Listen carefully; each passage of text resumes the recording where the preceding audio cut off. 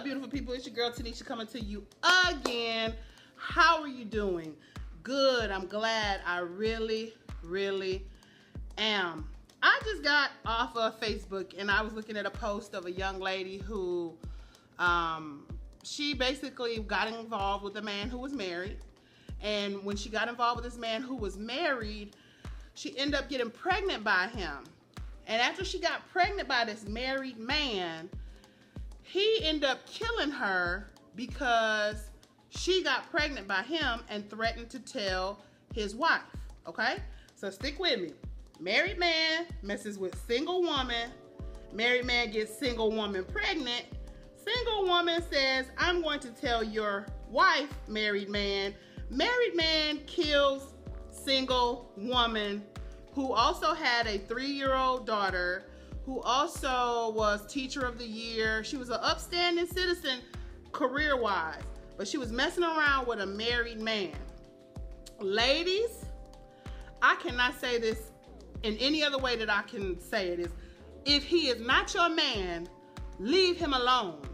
If he has a wife, if you know he has a girlfriend, if he has a friend with benefits, if he has any other connection to another woman romantically, sexually, leave him alone. Okay? I'm trying to save somebody's life tonight.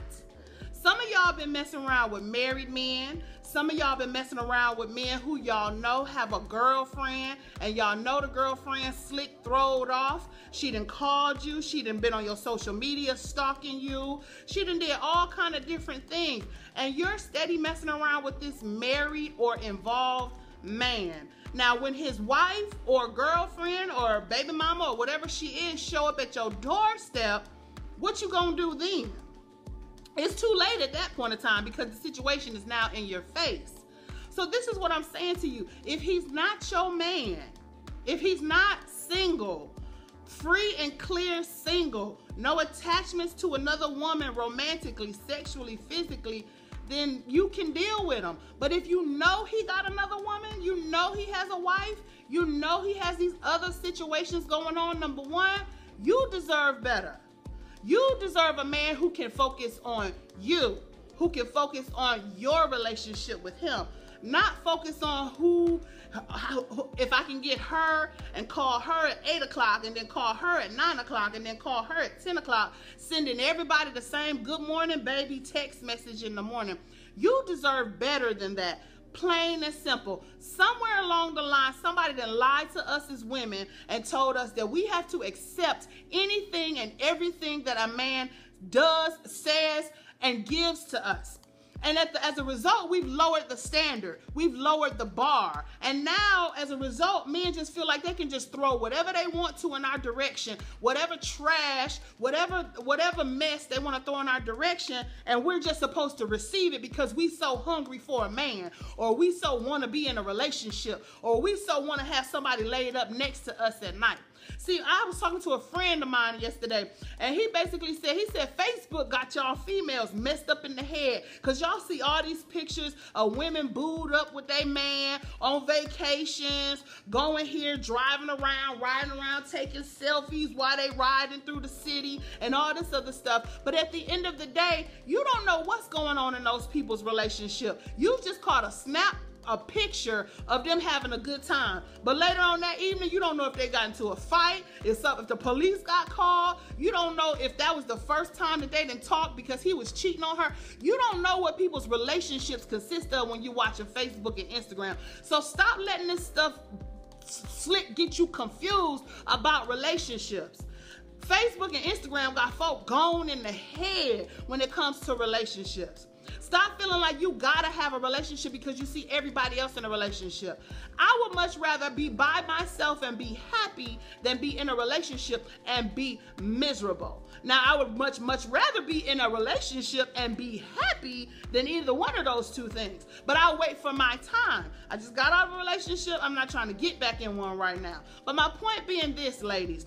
Think more highly of yourself instead of just taking somebody's leftovers, taking somebody's uh, second chances, taking somebody's um, a sequel. Stop doing that. Stop doing that because you playing yourself. You are playing yourself when you start feeling like you got to deal with a married man because he's showing you attention. You know why he's showing you attention? Because you're probably giving off the aura of being desperate. You're probably giving off the aura of feeling like, um, I need a man. Men pick up on that. Men are, I mean, really, this sounds historical and prehistoric, but men are hunters. Do you understand what I'm saying? Men are hunters and they can pick up on a woman who is desperate. They can pick up on a woman who has low self esteem. They can pick up on a woman who really ain't too sure about themselves. And as a result, they go at, if you ever watch the Discovery Channel, the Discovery Channel is my favorite channel because at the end of the day, we are animals, whether you want to believe it or not. I'm a mammal, you're a mammal, we're all mammals. When you watch the Discovery Channel, the lion always goes after the buffalo who's either the youngest the or the sickest, showing some kind of weakness. Men do that to women, whether it's subconscious or unconscious or whatever it may be. And I'm not saying all men, but for the most part, men have this hunter nature about them. So guess what? When you out looking desperate, when you're out looking like you have low self-esteem or, or lack of confidence, men are picking up on this. And if a married man can pick up on that and he can see that, guess what? If I approach her, I might be able to have a good time with her when I'm not trying to be a husband. You see what I'm saying? Married men get tired of being married sometimes. So guess what? They step outside of their marriage and they go find a female who they can just have fun with, who they can just frolic with, who they can just play with. So you gotta ask yourself, am I a toy? Am I a yo-yo? Am I a Barbie? Am I a, a Lego? What exactly type of toy am I to where I'm allowing this married man to keep coming playing with me, playing with my emotions, playing with my mental well-being, playing with my self-esteem, playing with me as an individual. I'm so serious, ladies. We got to get to the point to where we say, you know what? I am more than just a toy. I am more than just someone who he can just give a little bit of time to and then I'm satisfied. I know it gets hard sometimes being single and sometimes seeing all the stuff you see on Instagram and Facebook. And a lot of times, half those people don't even be happy. I understand sometimes you want somebody who you can call your own. That's human nature. But if at the end of the day, you, the one who you calling your own really ain't your own, like he, you really sharing him, like he community property. Like he belongs to you and her and, and her over there and, and her over there and can't forget about them over there. If he belongs to everybody, one, you're putting your health in danger. Two, you're putting your, your well-being in danger because nobody wants that when he leave your house and you got to worry about who he's with, if he coming back, what time he coming back. Y'all probably arguing because he ain't answering his phone when he out. All this other stuff. so that whole little article got me kind of like fired up. Like, look, if he ain't yours, then let him be. It's too many men out here. First of all, if you're trying to get you, a, if you're trying to get into a decent relationship, you need to start dating like men date. Men don't just find one guy and dedicate all their time to him, to her. I mean, excuse me, men don't just find one woman and dedicate all their time to that one woman. You know what they do? They date this one, they date that one, they date this one, and they date that one. Now, notice I said date. I didn't say sleep with. I didn't say end up in his bed. I didn't say uh, perform uh, other kind of things on. I said he dates them. So, in other words, don't stop just finding one guy and feeling like you got to invest all your time, all your energy, all your everything into this one guy before you really even know what he's about. If you're on the dating scene and you're a single lady, date him, date him, and date him. It may get a little tiresome, but you know, hey, it, or just date two different guys. My point being this stop putting all your eggs in one basket. And then when the basket drops and all the eggs break, then you're kind of upset and shattered and in shambles. And then you got to pick back up again and start back all over again. When you, look, when companies are interviewing for a candidate, the first candidate that they like is not necessarily the first candidate that they pick. Several people send in their resumes. Several people apply for the position. And you go through the qualifications of everyone. Sometimes you can just look right at their resume and say, nope, not that one. Case in point, I was a guy I met. Now, I'm not one to hold you against, you know, whatever you didn't did in the past. This guy, he had just got out of prison strike number one. I'm sorry. Just for me, strike number one. He had just got out of prison for shooting somebody and he on 20 years parole. 20 years probation, 20 years parole. Guess what, boo boo? We don't even have to move to the next part of the interview. We really don't. We don't have to move to the next stage of the interview. You're probably not going to be the kind of person that I think I want to be involved with. So guess what? His resume got tossed out. You know, but then I met another guy, Southern gentleman, works hard. You know, I might consider his resume. I'm using a metaphor, but I'm hoping you're understanding what I'm saying.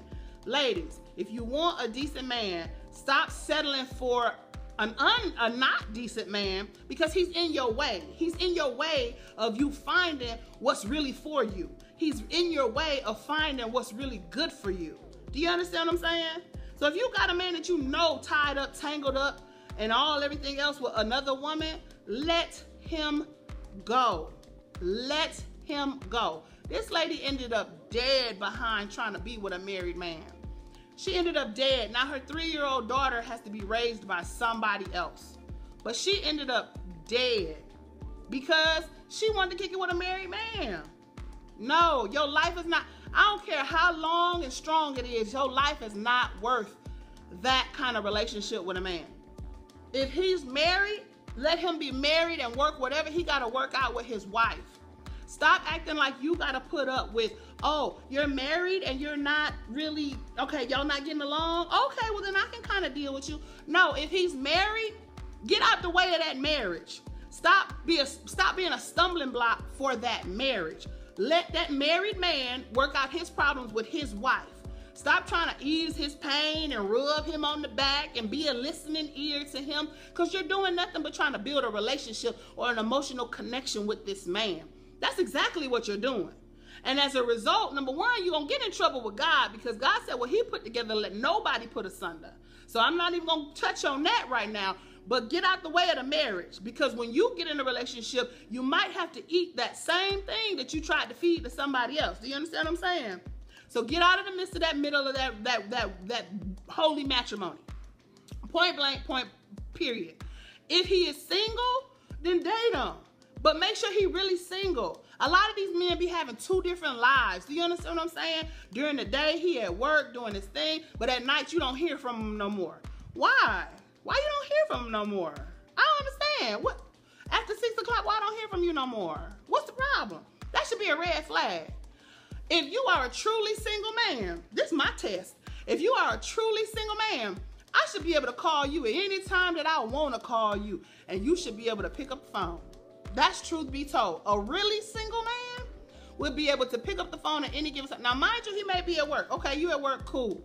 But if I call you at 12 midnight and I don't get an answer, I call you at 10 o'clock, I don't get an answer. I call you at 9 o'clock, I don't get an answer. Why I keep not getting the answers? Lady, I need ladies, I need y'all to be a little bit more smart about game that's being ran on y'all by men. And I'm not by any means making it seem like all men are running game because there are some good, stand-up, honest, um, hardworking, wonderful men out there. There are several of them. Several, several, several, several of them. There's one for you. He waiting on you.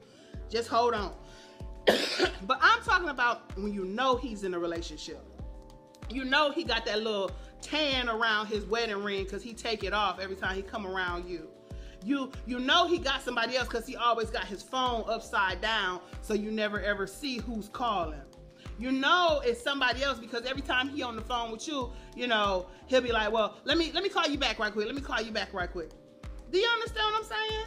So you got two options. You either need to get it together and say, okay, I'm we know if we're not exclusive, then we're gonna date. Do your thing, I'm gonna do my thing. Don't infringe upon me, I won't infringe upon you.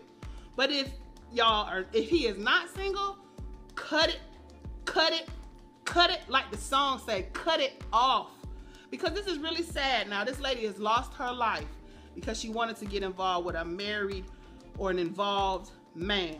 And nowadays, folks is slick throwed off out here in these streets. Do you understand what I'm saying? Lives do not matter to a lot of people, especially if they're in a fit of rage. And you don't know what they're going through. You don't know if that woman will come to your house. You don't know if that man will do like in this situation. And if you end up pregnant by him mistakenly, he will end your life. That's what happened here. That's crazy. That's crazy. All because y'all wanted to sit up and have relations because y'all want to have relations. See, I'm not going to get into preaching, but there's a lot of reasons why God says the things that he says. He says one man, one woman, come together, y'all stick it out. That's what he said. And there's a reason why he says stuff like that. To protect us. It's not because he want to prevent us from having fun or he want to prevent us from, you know, living a, a good life or he said one man, one woman together, get married, stick it out for the rest of your life. That's what he said.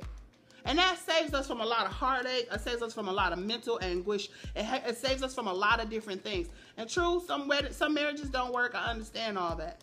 I understand all that. I've been married, so I understand all that. So I'm not even going to get into all of that. But my point being is that the word of God oftentimes is to protect us. It's not to prevent us from having fun, but it's to protect us. So again, ladies, I just want to come on here, jump on here right quick. I'm not going to talk y'all ear off. But if you're dealing with a man and you know he's dealing with someone else, he has a girlfriend, he has a, a wife, and all this other extracurricular activity, and you know this, you need to cut him off. Again, I was inspired by this story of this lady who ended up dead because she was dealing with a married man and she ended up pregnant by him. And in order for him to cover up the pregnancy, he just killed her. So now he's put up on kidnapping charges, felony, felonious kidnapping charges, felony murder, and felony infanticide. infanticide. And now the woman is dead, and the three-year-old daughter um, has to be raised by a family member. So this was sad and tragic. But I just really hope this touched someone. I hope someone understood what I'm saying. I really, really just hope that this will open somebody's eyes. I know the way he make love to you. I know the way he talks to you. I know the way he call you and act like he's concerned about you. I know the flowers that he done sent on your job. I know the jewelry that he showers you with. I know you like those handbags, those shoes, those trips to extravagant places. I know all of that stuff is wonderful. But you gotta ask yourself, is my life worth it? Because at the end of the day, you're gonna have to pay a price. If you're messing around with a man who's involved with someone else, you're gonna have to pay a price. You can pay on the front end or you can pay on the back end but you're gonna pay. Okay? And I'm only saying this out of love. Again, this has been your girl Tynisha from Talk to Tynisha. You can find me on all social media platforms. I'm on Snapchat, I'm on Instagram, I'm on Facebook, I'm on Twitter. Just look up Talk to Tynisha. Talk to the number two Tynisha, T Y N I S H A. And again, I'm giving you a big old hug from afar. And until next time, bye.